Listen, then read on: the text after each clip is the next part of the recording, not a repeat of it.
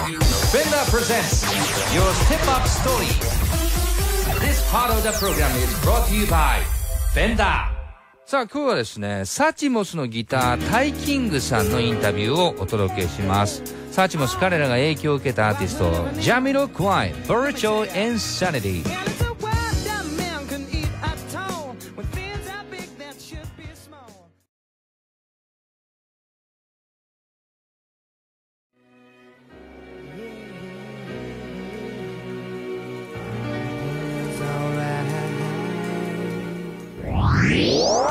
フェンダープレゼンツ Your Step Up Story 続いてはですねとってもセクシーなギターを弾かれます。サーチモスのギタータイキングさんです。よろしくお願いします。よろしくお願いいたします。これさっきカメラ回る前にも弾いてらっしゃったフレーズがあまりにもセクシーだったんでちょっともう一回やってもらっていいですか本当に。何弾いてましたっけ？わかんないです。ほら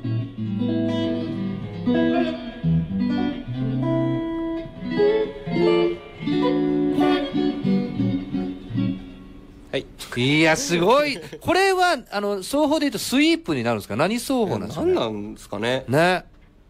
何も意識したことないですけどあのもともとアコギギター始めたのがアコギからだったんですね。あそうなんです？でフィンガー系でこういうので。は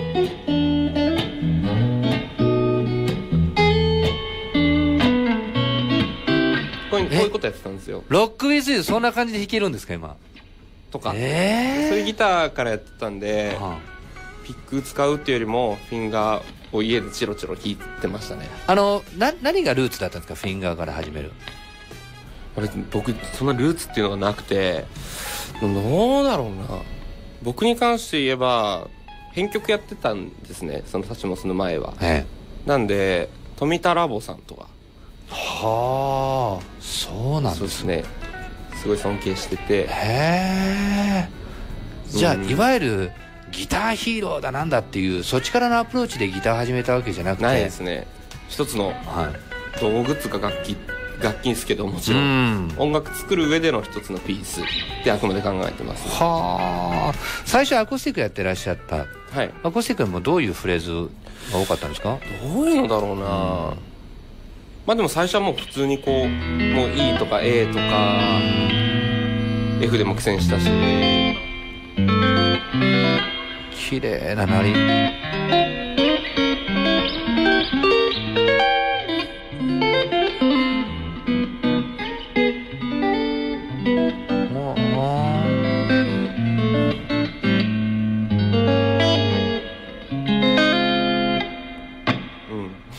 それ自分で引いて美味しいお酒飲めるでしょ本当。あんまお酒好きじゃない。あまあそれでも飲みたくなりますよ 僕今。本当ですか？うん。飲んでいただいな要はそのつまびく方も全部指使うんですね。ほぼ5本今親指まで親指から小指まで全部使ってるなって印象だったんですけど。そうですね。小指あんま自分は使わないですけど、まあ、4本ですかね。あほあ4本使ってんですか。ほうほうほうほう。あの普通だったら、うん、全部ピックなんですけどね。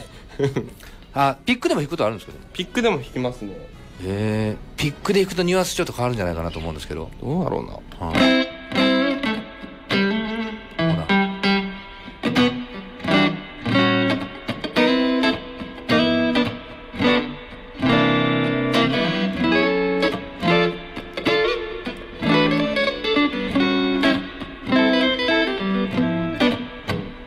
あ使ってもやっぱセンス良すぎですね。すごいな。はあ。でも、あの、いわゆる、もう、1弦から、もう6弦全部、全部なんか鳴らすというスタイルですよね。でもそうですね。うん。あの、リフで鳴らすというよりも、うんうんうん、もう本当にフレーズで奏でて、全体で響かせるフレーズのタイプじゃないですか？そうですね。なんかこう、ガツンとしてるよりかは、なんかこう、綺麗なものが好きなのでその富田さんの音もそうですけど、やっぱ綺麗なものが好きなんで。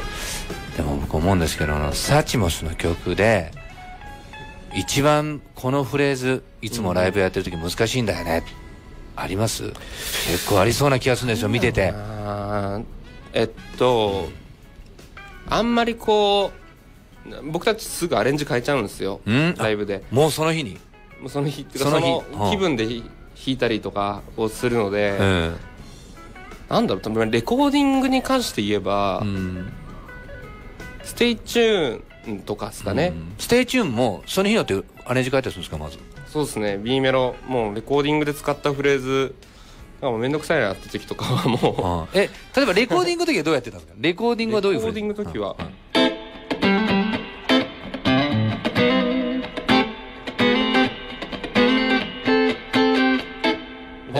なるほどはい。でライブちょっと今日はちょっと緩くやりたいなみたいな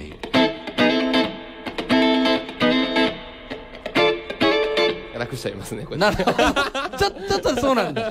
フレーズ移動をやるんだね。そういうことなんですね。つま引きをちょっと減らして。そうですね。なんかこうテクニカルなものっていうよりかは、えー、結局はアンサンブルなんでその時のテンション感によってあもう今日はもうこっち行っちゃえみたいな。なるほどねそうですね。でもギター今持ってやらっしゃる方もそうですけどやっぱフェンダーの方ってすごく形が合いますよね特に。僕ステージ見ててもやっぱり楽器よく持ってらっしゃるなという印象なんですけど、そうですね、うん、やっぱなんかこうフィット感っていうんですかね、うん、楽器と体の。うん。合いますよね。すごいフェンダー社のものはいいかなと思ってて。うん。テレキャスターいいっすね。うん。あんま僕テレキャスター弾かないんですけど。そうなんですよね。どれが多いですかやっぱり？ストラト？ストラトがやっぱ多いですね。臨機応変だし。シングルですか？シングルですね。あやっぱり。ストラトは。なんでそれこそ「STAY TUNE」とかも、うん、ほぼほぼストラトでレコーディングしたりとか。だしストラトはやっぱ活躍しますね。そうなんですね、うん、いわゆるストラトってまあ、はい、本当にシングルコイルのやつもあれば、はい、ねああいうハンバッキングのやつもありますけど、でも幅広く表現できるんですよね、うん、そうですねストラトは。やっぱり、エレキギターって感じですよね。そうそうだね。なんかこう、うん、ソロも気持ちよく弾けるし。そのやっぱ、エレキギターの形してるじゃないですかもうもうまさにね。エレキだもんね、うん、確かに思いますよね。今日はどうですか？ちょっと弾いていただきましたけども その持った感じといい、うん、ネックのグリップといいいかがでしょう？まずそのなんていうんですか僕はあんまソロ弾かないんですけどでな楽器を選ぶときにやっぱこう全部のがあの弦がちゃんと鳴るっていうそのデッドポイントがやっぱ少ないなっていう印象があって、はい、すごいこうライブとかであのレコーディングだったら古いギターを、はい、お借りして使うこともあるんですけどライブとかすごいこういうギターだったらめちゃくちゃこう活躍するんじゃないかなっていうふうに思いましたね。なるほどね、うん。ネックもすごい握りやすいし。ああやっぱり。どのポジションでも結構うまく気持ちよく弾けるっていうのがまずネックのこだわりだったということですね、うん、これはでもすごい弾きやすいですね。ですよね。いや最後にですね、はい、ちょっと一発さっき僕は本当に気持ちよかったあのフレーズもう一回弾いていただいていいですか本当に。これが本当に最後ななんとなく今の気分みたいなやつをあピック下ろされました。つまんでいきますよ。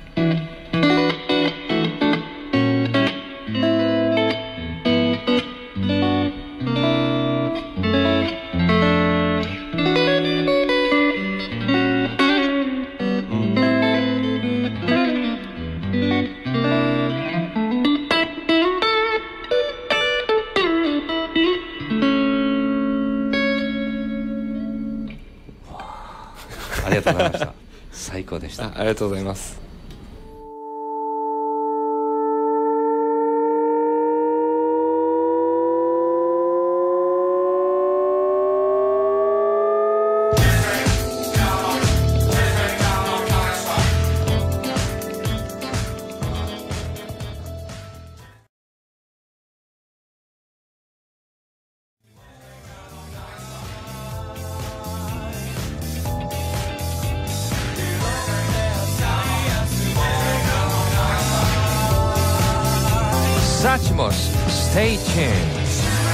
えキヨさんという方東淀川区の男性からねタイキングさんのみのゲストという非常に興味深かったですというねメッセージもいただきました。あ本当つまびくフレーズがとってもおしゃれなタイキングのインタビュープレイいかがでしたでしょうか？FM802 から大抜卓人がお送りしています。 TACTY IN THE MORNING フェンダー presents Your Step Up Story Suchmos の STAY TUNE をお届けしていますが来週の1月25日の水曜日にセカンドアルバム「The Kids」がリリースとなりますえー、そこからもお届けしたわけですが、あの、今日ね、放送したサチモスのギター、タイキングさんのインタビューの模様の一部なんですが、フェンダーのホームページで動画として見ることができます。これ、フェンダーで検索していただいて、えー、フェンダーの公式サイトに入って探していただくか、またこの番組のブログにも URL を載せてますから、そこから入っていただくもよしかと思います。え、今後も毎週、フェンダーの新しいシリーズ、アメリカンプロフェッショナルのギター、ベースをアーティストが思想、まあ、試し弾きですね、え、したそういう場面を載せていきますんで、ぜひ楽しみにしてください。結構あのカメラでその手元あたりまでぐーっとフォーカスしてみたり、なかなか貴重なものが見られるかなと思います。で、来週は The Oral Cigarettes のボーカルギター山中拓也くんのインタビューをお届けします。そしてこのコーナーでは、あなたにとってのステップアップストーリー、出会った曲、まあ、この曲が自分のまあ、血となり、ね、そしてパワーをもらって今の自分があるんだみたいな運命の曲。おありでしたらぜひそれをリクエストにして送ってください。802のホームページ。トップにありますリクエストプレゼントのバナーから送ってください。